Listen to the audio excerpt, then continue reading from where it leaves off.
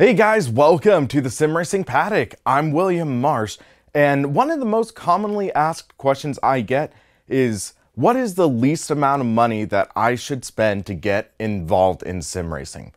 And commonly, when I get that question asked, the sweet spot I tend to say is $200 for a wheel and then get a console or PC and go from there. But I was thinking, what if I gave the $200 figure and made that into the high mark? What if I said I could make a sim racing setup for under $200? Now we're going to be cutting a lot of corners, as you can see right here, but I think it is possible and you could actually learn a thing or two and get a good sim racing experience for under $200. So let's take a look and see how you can get a beginner sim racing experience for under the price of a Thrustmaster T150. So the first thing we're going to need for our bargain bin sim racing setup is a wheel and pedal set. So next to me we have the Speedlink Drift Oz. Fun fact, I actually bought this three years ago for $40 at Fry's in Southern California. Now, Fry's is on death's door, so this deal may vary, but I've been commonly seeing this wheel and pedal combination for roughly 50 to $70. So I'll say I spent 40, expect to pay about 50 to $70 for this.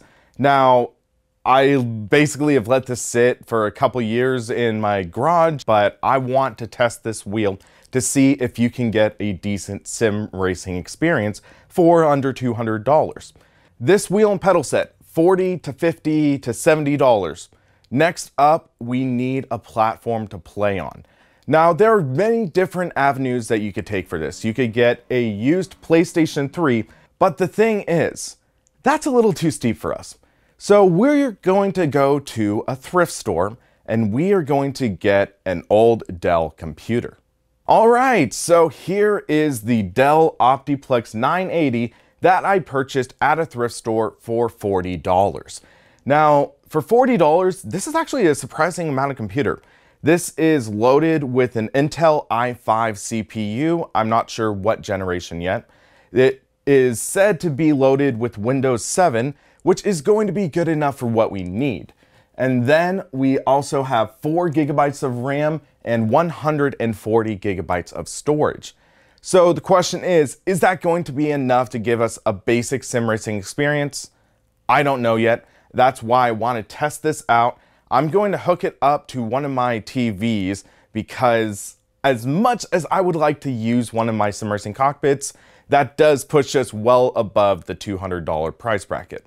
Also, wheel stands still are going to push us over that $200 price bracket. So let's get our other other solution and get going. You're meaning to tell me this thing has a display port but no HDMI? Dell, this computer came out 2010. Ay, ay, ay.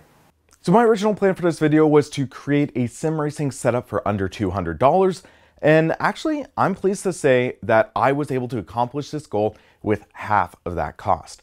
So as mentioned earlier in the video, I got the wheel and pedal set for $40, the computer for $40, but where does that leave me now? Well, I had to find a game and I had to find a way to display it and a way to mount the wheel. Now, I could have put this on my lap, but ultimately the issue with that is that there is no real support. And also I could have used a wheel stand, something of that sort, but that would have drastically pushed me over my budget. So I made the decision to use an $8 tray table from Target. So what that actually does is it brings me back to some of my roots. Some of my earliest sim racing memories of taking it seriously were actually mounting a Logitech G25 onto a tray table and squeezing myself into the uh, sort of setup I had. And that was how I was able to get my start. Then I moved up, built my own wooden cockpit and stuff like that for about $200. But still, being able to sim race with a wheel and pedal set on a computer, you could do that for $100. So let's dive in, let's take a look and see how the driving experience is like. Actually, before we jump in, I do want to explain one disclaimer. So when you are going through the second market, through the bargain bin sim racing experience, and if you buy a computer, especially one under $50, it is a bit of a crapshoot. You could be getting a surprisingly decent computer for a reasonable price, or you might be getting a defective piece of junk. You might get that as well. So when I fired up my new computer, or new to me, I actually was greeted by a warning that my key of Windows, Windows, my key of Windows 7 on this computer was not genuine. However, with this being an OEM Dell computer, they had a Windows key on the top of it, so I entered that in and it worked just fine. Your mileage may vary, you might end up with some junk computer, which I have had happen on one or two occasions. But enough about the disclaimers about computers and stuff. Let's get to the actual driving, what you guys are looking for, and let's jump into rFactor 1. So I gotta say, I am pretty impressed by the graphical fidelity in this, even for a dated title. We are sitting at 106 frames per second on a first generation i5 integrated uh, GPU. I am pretty impressed. I had a $2,000 Dell or desktop in 2008, and this is outperforming that. So without further ado, let's get behind the wheel but keep in mind, this is 106 frames per second on a 720p display. At 1080p, it would severely start to bottleneck.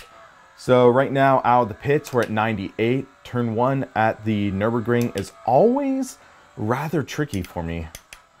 So one thing worth mentioning is I did actually have to dial in a dead zone for this uh, wheel because we actually had an issue where this was starting to pull to the right. I don't know if that is just because it's an old wheel or the nature of these encoders that are pretty dirt cheap. Yeah, that is something to keep in mind.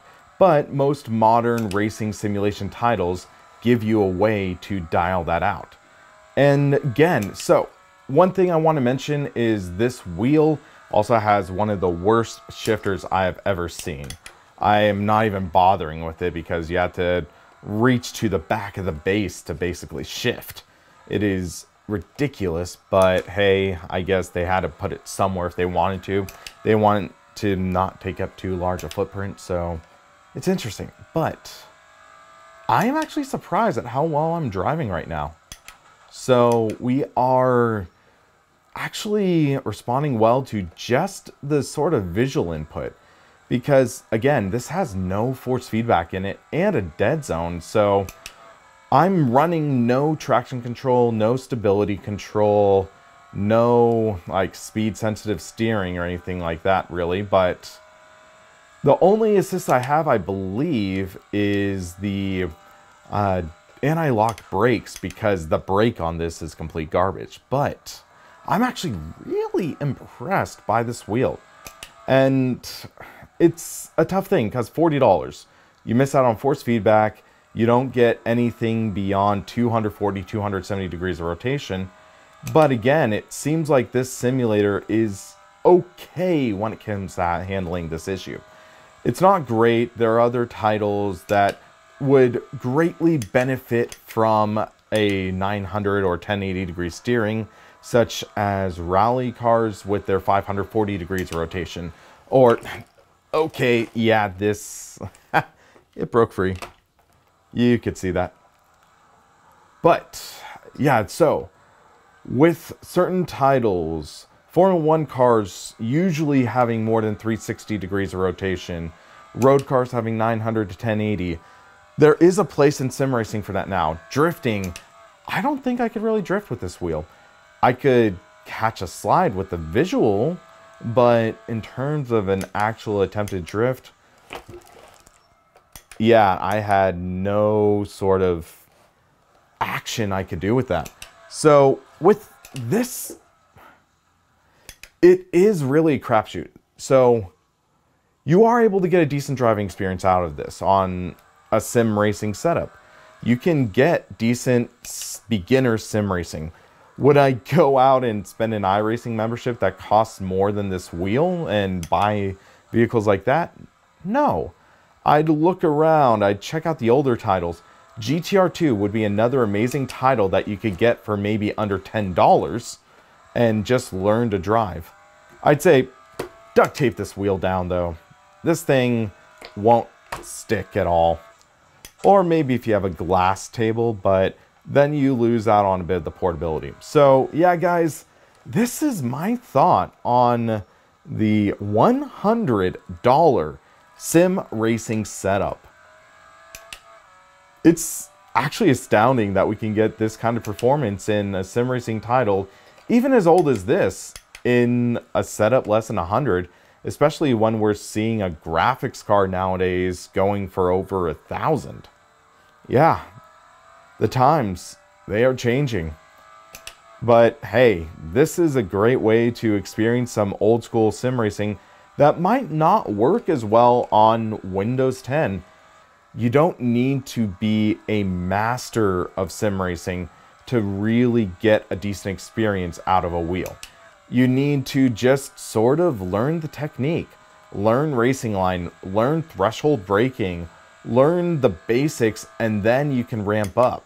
Just like I did, I went from a force feedbackless wheel all the way up to a Logitech Momo G25, Thrustmaster T500 RS, and now the rest is history. So guys, I keep on hearing people say, oh, what kind of setup could I get for $100? What could I get for dirt cheap? Look around. Look at thrift stores. Look at sales. Look at just coupons even. A coupon could be your ticket to getting a decent computer from a local computer shop. In this day and age, you don't need a fancy membership to race. You just need drive. So yeah, guys, these are my thoughts on the $100 sim racing setup. I would love to hear your thoughts. Have you ever had this kind of dirt cheap budget setup?